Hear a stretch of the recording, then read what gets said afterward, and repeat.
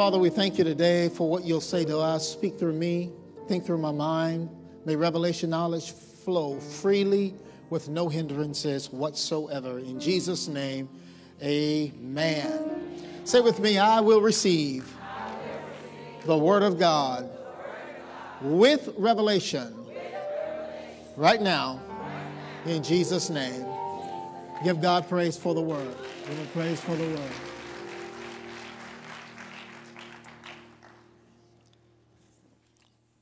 What we're learning is highly practical, and I'm just very interested in how you are applying it in terms of imagination, in terms of what it is that God is speaking to your heart, what it is that, that, you're, that you're being caused to see. We know that God speaks, and He speaks so that we may see. And that happens as we apply pressure to that word that he speaks. That pressure we call meditation, or that process we call meditation. It is a process whereby an image is built over time based on a word that he speaks. Now, what we also have learned is that there is a, an imagination that is not of spirit influence, it's called a vain imagination. That vain imagination is one that is going forth a process of meditating something that God didn't say. It's just something somebody else said, the devil said, or you conjured up in your own carnal, natural mind. The imagination wasn't meant for that. The imagination was meant to house and to embrace the Word of God, causing you to see an image of His Word so that you may step out into it and be it or do it. So we say that when this happens, it creates what we call vision. And then when vision is settled inside of you, it causes you to operate at a place that uh, you was not able to operate at before that, that word matured. It causes you to see things that you couldn't see before or that someone next to you can't see. And then, of course, it'll cause you to do things that others can't do or that you couldn't do before. You just couldn't do it. Just couldn't do it. And now you're doing it. And you can do what you can't do. Sometimes people will say, I'm trying my best, but sometimes your best is not enough. It doesn't solve the problem. The problem still remains, even though you have you've released your best effort. So you have more than your best available to you. You have God's ability available to you so that you can operate above and beyond your ability, even your best ability.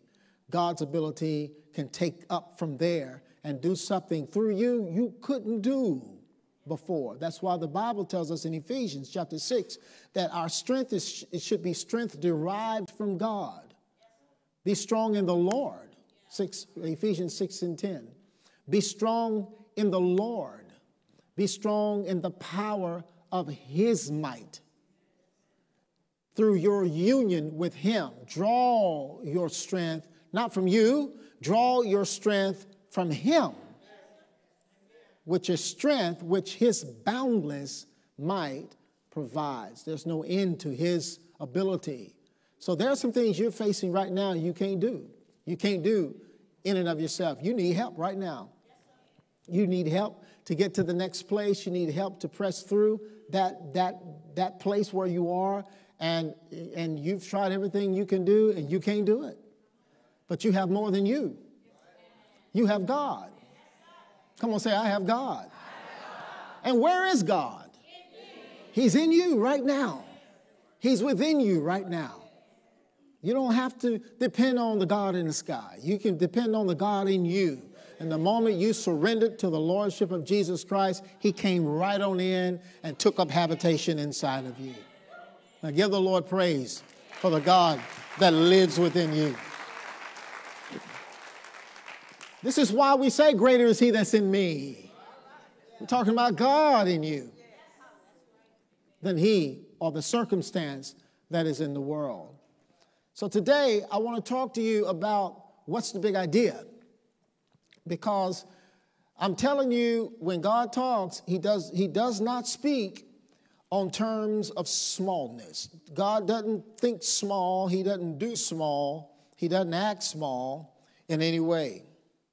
Let's go and establish that with a very familiar passage of Scripture in Ephesians chapter 3 and verse 20 in the Amplified Translation. Ephesians chapter 3 and verse 20 in the Amplified. Now to Him, Him as God, who, by in consequence of the action of His power, is at work where?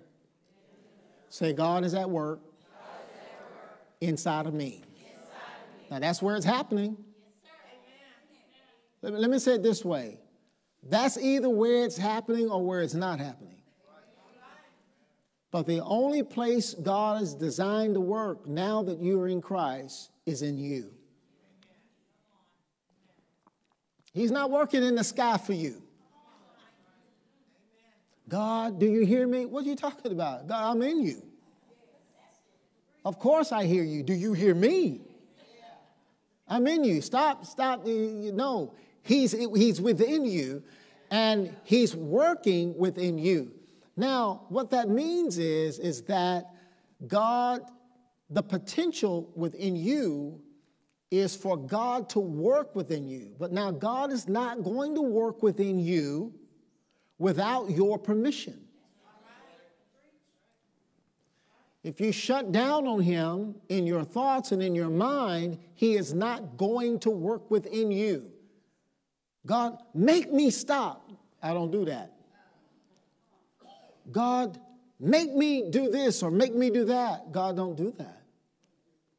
That, that's a violation of his process. He works within you. And, and primarily that's because of Christ. That's because of Christ. So now it's not God do this with me or God do this in me or God do this for me. It's, it's God, I surrender and I allow you to work within me the promise and the fulfillment of your word. It says, now in the consequence of the action of his power, that is at work within us, he's able. When is he able? When he's able to work in you. If he's not able, if he's not going to be, if he's not, if you're not allowing him to work in you, he's not able to do the rest of what we're getting ready to see. Are y'all getting this? I'm, I'm not going to be rushed. I'm just going to take my time. And I mean, I got to go, but I, am going, I'm not going to be rushed in trying to give you all this what I have if you're not getting what I'm telling you right now.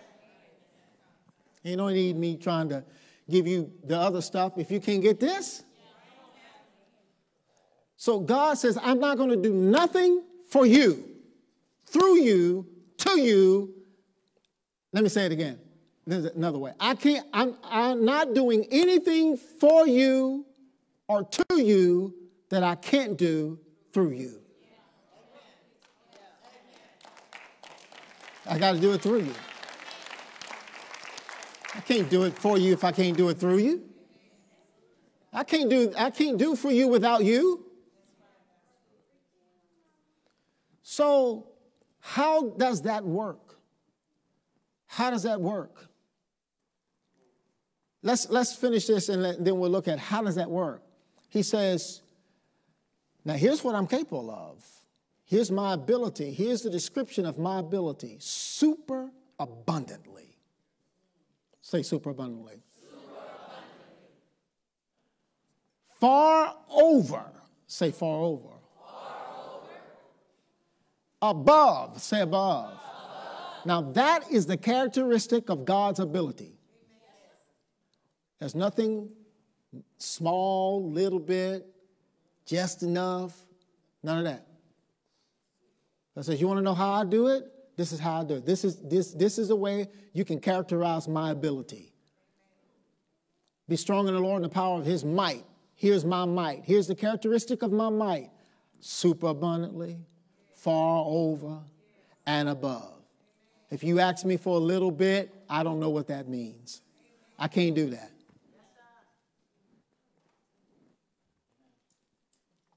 Now, that's my, that might be what you're getting,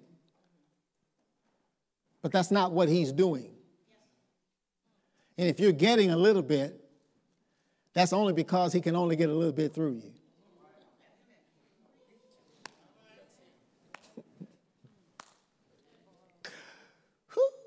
God, when are you going to give me more? When you can let me bring more through you.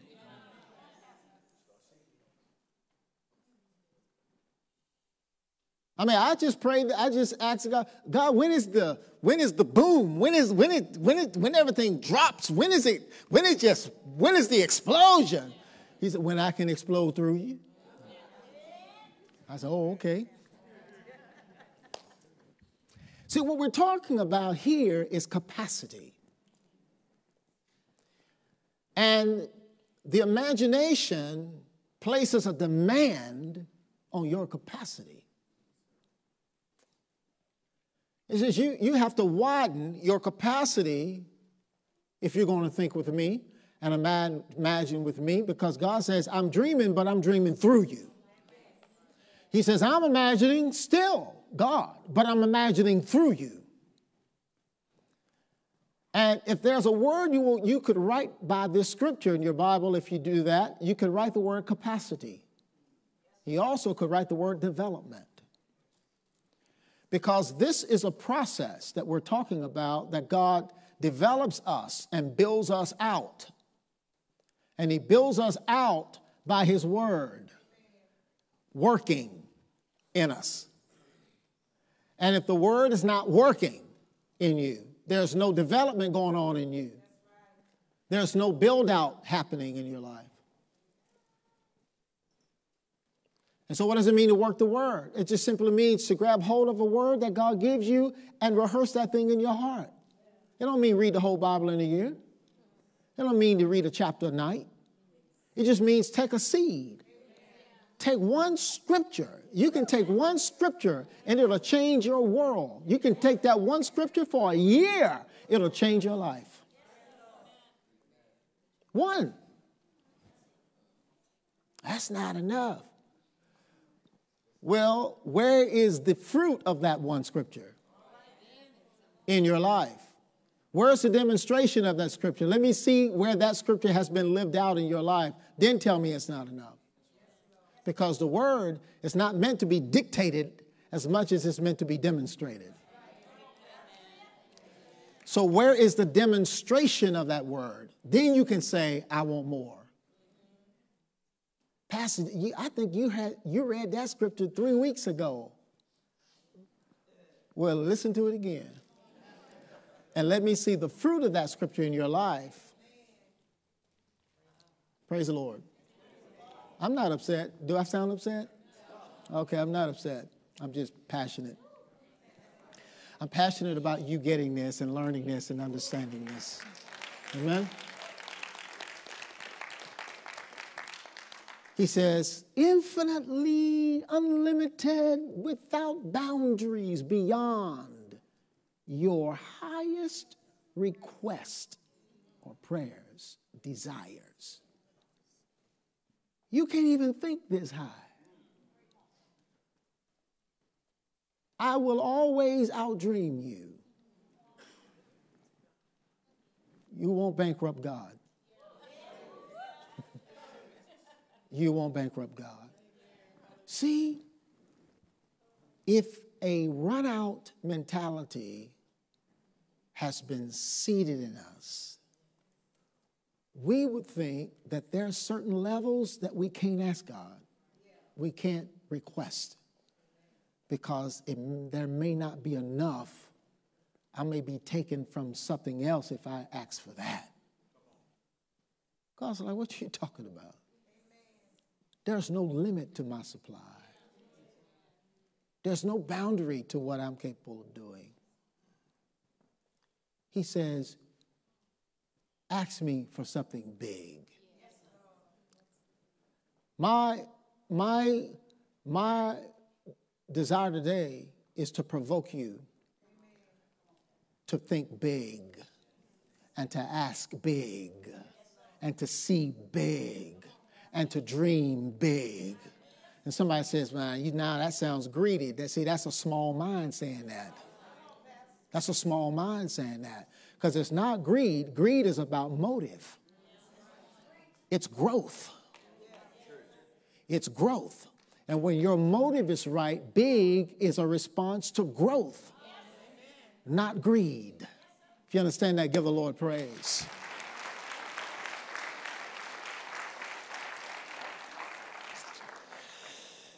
Say to somebody, I'm a big thinker. Say, I'm a big receiver. I have big ideas.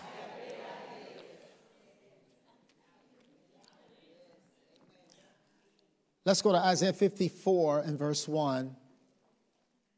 Isaiah 54 and verse 1 in the Amplified Translation, please. Isaiah 54 in verse 1.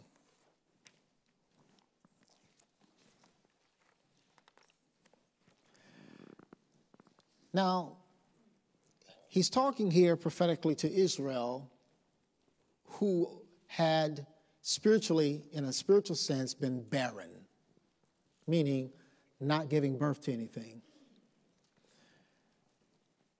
And many times in our lives, we go through seasons where we're barren. We're not giving birth to new things. Things are being aborted because we have disqualified ourselves, because we have allowed ourselves to see ourselves in a way that doesn't reflect the way God sees us because of stuff, because of circumstances, because of life, because of events. And I just showed you in Romans 11 29, God says, I don't take that stuff and change my mind about you.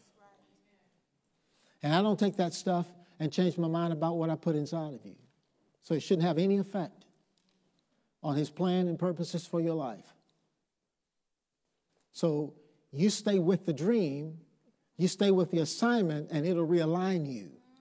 It'll bring, see, the thing, when you go wild, or when you go west, or when you go left, y'all know what I'm talking about? The thing that recenters you is the assignment.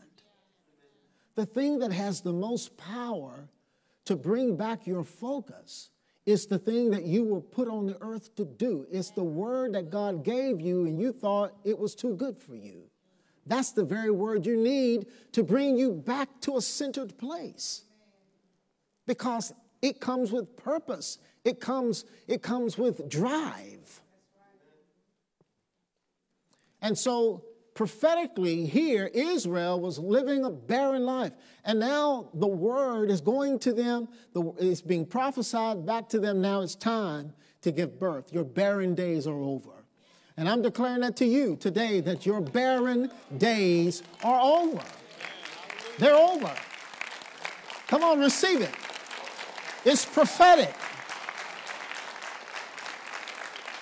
Say it, my barren days are over.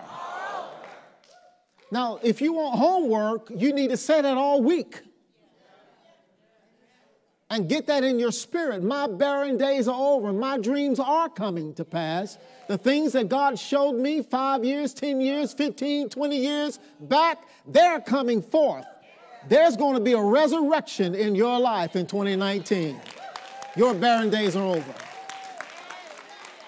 Say it again, my barren days are over. So he says, shout for joy.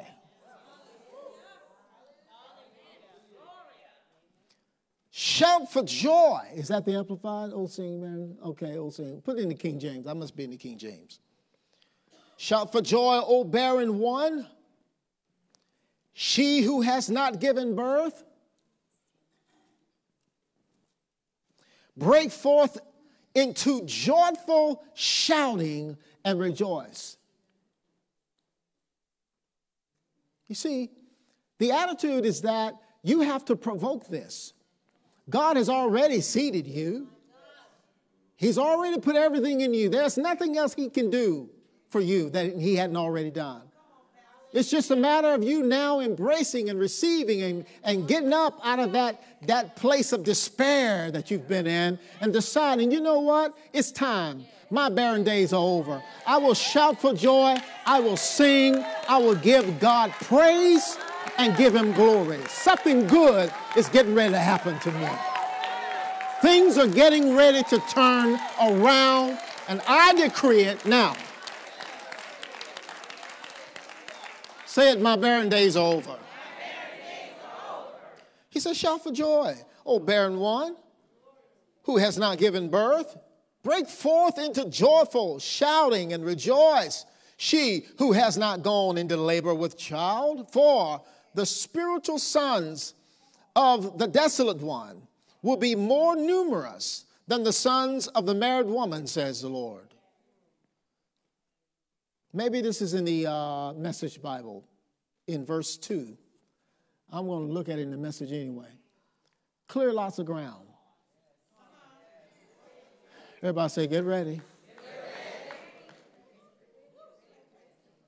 Because your tent is going to be big. Make large tents and make large tents on purpose. What is he saying? Make big plans. Spread out. In other words, think outside the box of your limitation. Think outside the box of your past experiences. Spread out. He says, think big, use plenty of rope, drive the tent pegs deep.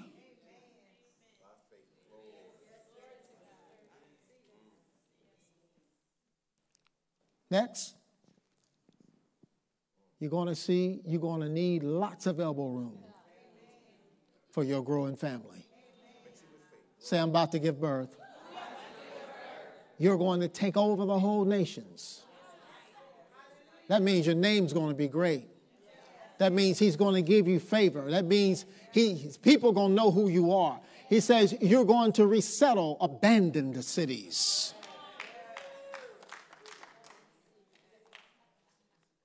So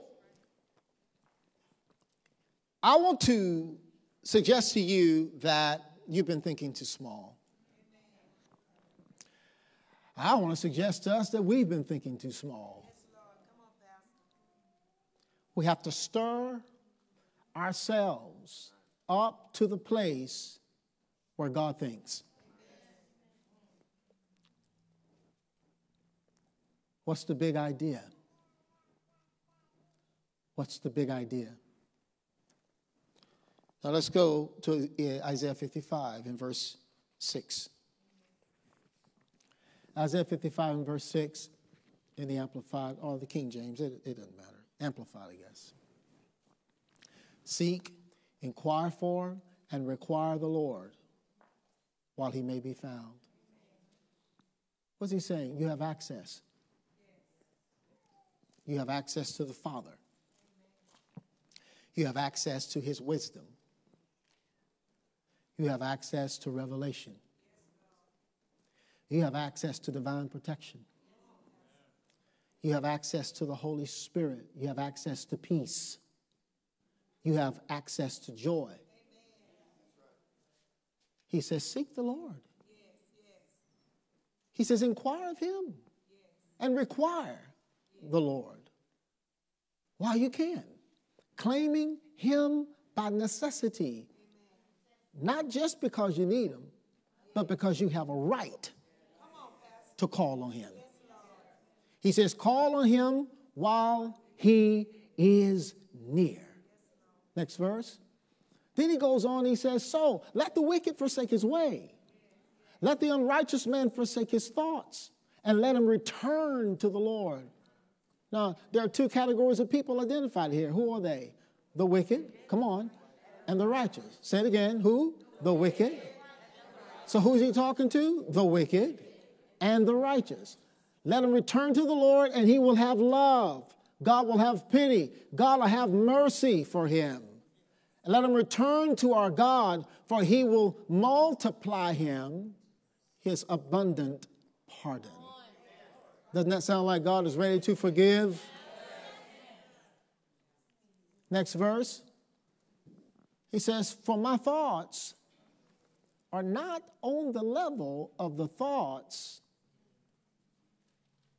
of the unrighteous. That's what he's talking to the wicked and the unrighteous. My ways are not on the level of the ways of the wicked. But something has happened here in that you have been redeemed. By the blood of Jesus, and you cannot be wicked, and you cannot be unrighteous. So, he's not talking to you because you're not the wicked and you're not the unrighteous. What's he saying here? My thoughts are not on the level of unrighteous thought life, unrighteous thought pattern. So when you, the righteous, come down to the level of unrighteous thinking, you have just dropped out of your place of thinking with God because you're not thinking on the level of your identity. You're thinking now on a level below your identity. And because as your thoughts go, your ways go. So if I have, if I embrace unrighteous thoughts, I'm going to create wicked ways or a wicked way of life. Wicked don't mean you're just doing sinful things. Wicked means sinful things happen, things that shouldn't be happening to you are happening to you. You're living without the privileges and the benefits of things that have been already provided for you. And he says, You're not supposed to be living like that. That's not supposed to be happening to you. He says it's happening to you not because the devil's doing it, not because God is withholding. It's happening to you because that's where you see yourself. That's where you're thinking. And if you're thinking there, you're speaking there. And if you're speaking there, you're creating there. He says, You possess the power to turn it all around. Come back to your identity. Come back to a place of righteousness. That's what you are. That's who you are. You're the righteousness of God in Christ Jesus. He says, Come back to righteousness, think righteous, speak righteous, create righteous, and your ways will represent righteousness.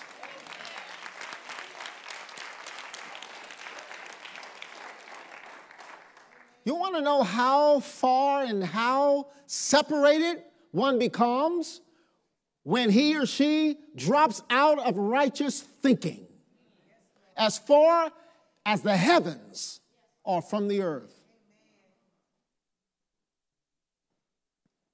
As far as the heavens are higher than the earth, that's how far you drop down.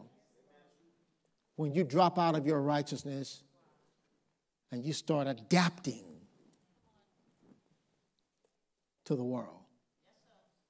Take me to Romans chapter 12 and verse 2. Say, I have big ideas. Look at this. He says, now this is Paul writing, and listen, he's not writing to sinners, he's writing to Christians. He's writing to the church.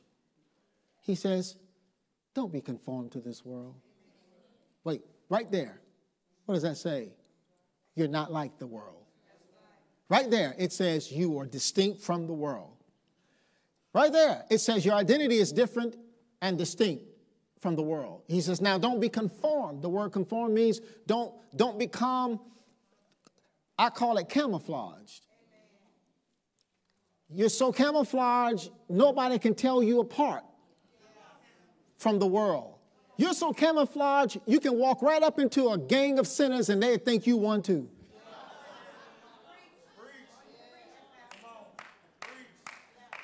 Some people say, well, you know, you know, I just want to slide over in there undercover. And no, you can't be undercover. There ain't no such thing as you being undercover. Jesus says you're the light of the world. He says, ain't no way you can take a city on the top of a hill and hide it. So you can't be undercover. You're going to show up, you're going to shine everywhere you go. Everybody's going to know, oh, whoa, wait a minute, something's different.